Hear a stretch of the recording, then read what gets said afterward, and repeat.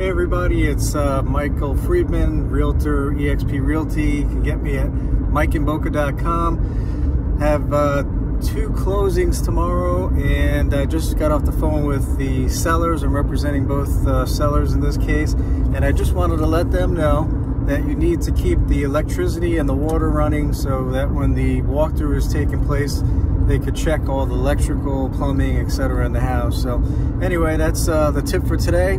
You could always catch me, Mike in Boca.com, and talk with you soon.